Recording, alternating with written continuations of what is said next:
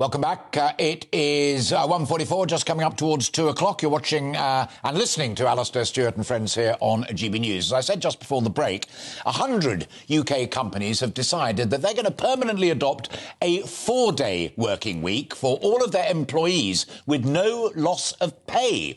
The 100 companies employ 2,600 staff, a tiny fraction of the UK's working population, but the four-day week campaign group is hoping that they will be the vanguard of a major shift. Uh, so, is there room for change in the way that we work? The campaign has some political support as well, and we're speaking to a Labour MP in a moment uh, who also supports the change. But joining me live in the studio now, I'm delighted to say, is Jon Berry. Jon's the sales director uh, and director of People, Places and Purpose at Tyler Grange, which is an environmental consultancy, and they took part in the four day working week trial trial. And more importantly, you loved it, your people loved it, and you've adopted it. We did, Alastair. Yeah, thanks for having me. Yeah, it's been a big, big change for Tyler Grange, but it's been hugely beneficial. Um, the team love it. It's been a lot of hard work, but overall, we've seen a 21% increase in productivity of the team. You see, um, that's fascinating. I only interrupt because a lot of the people have been tweeting me about this. Oh, yeah, but you won't get enough work done. You won't be productive enough because in the current economic climate, that, that is almost the be all and end all. We need productivity because we need growth. But it's worked for you. It's worked for us. I think the, it's the understanding the difference between work ethic and productivity. I think people working really hard over four days in a job that they enjoy and then coming back refreshed after a three day weekend We've seen a 10% increase in happiness. We've seen a 70% reduction in absenteeism. So everything for us has been really positive. And we, we recognise it's not right for every business. Mm. For us, certainly, it's given the business an opportunity to give everyone effectively 47 non-working days a year. No, absolutely. Can... and Jon, I also gather importantly that it's not kind of one size fits all. That's correct. There's a template of, of how you might try it out, but you and the team sat down round a table and worked out how it would work for them and your company. Yeah, for us, we decided to take one day a week for the whole business, so nobody works Fridays, and that's had the biggest impact for us. It also gives us Fridays to do a lot of work. You know, one of our values is caring, belonging, and opportunity.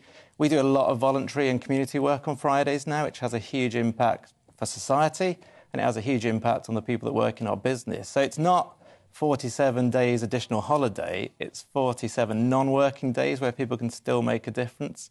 And that might mean more time with family as well as hobbies and more mundane things.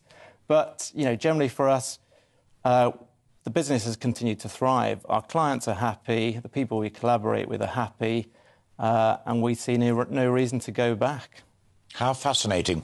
There is a tricky potential downside, and I'm asking you as a frontline business person about this, uh, and we all know about the rows over working hour directives and things like that.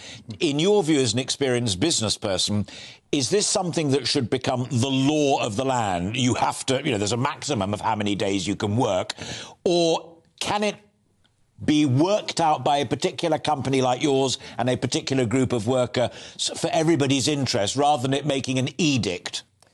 Yeah, I, I, think it has to be approached flexibly, and every business has to adapt to it in a different way.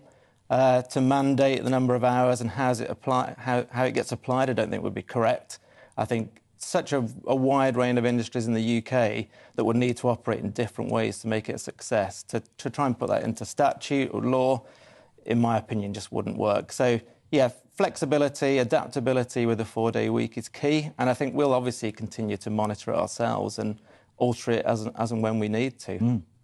Interestingly, and, and talking to other companies that have been involved in it, and, and, indeed it may also affect your own company, but we've had those tweets and emails from people saying, look, yeah, tricky for GPs, or we're trying it as GPs, and that, that's been difficult. And, and I couldn't find the email earlier, but somebody definitely said, if you're an oil rig worker, you must be joking. Come on, there's going to be too many shifts. It's going to boost costs left, right, and centre. Yeah.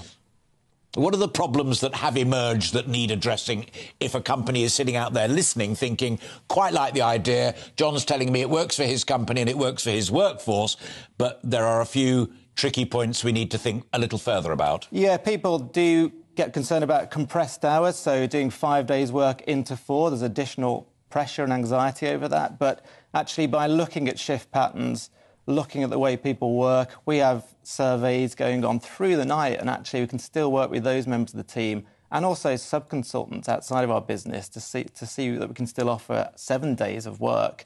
It's just the core team only have to work four of those seven days. So, I think technology and innovation is also key, making sure your business can cut out administration where it's not needed, and also I mean, environmentally yeah. for us, it's big in terms of well, investment in the right kit and uh, yeah, yeah, is as much yeah. about productivity as just working a bit harder. It is, and also, you know, that four-day week applied across the UK. They've said by 2025 could see 27 million tons of carbon reduced in our footprint. So it has big, big consequences for the environment, socially.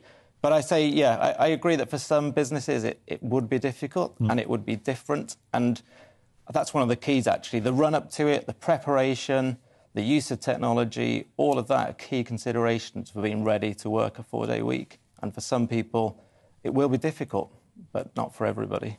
Oh, well, not insurmountable, however. Jon, great to meet you. And, you. and thank you very much indeed. Uh, well done on the experiment. Uh, and thanks for sharing your experiences there. That's Jon Berry, who is the sales director at Tyler Grange and Environment uh, Consultancy, saying he likes it. And more importantly, I'm sure he'd be the first to admit, his people like it. Uh, joining me now to discuss this. Uh,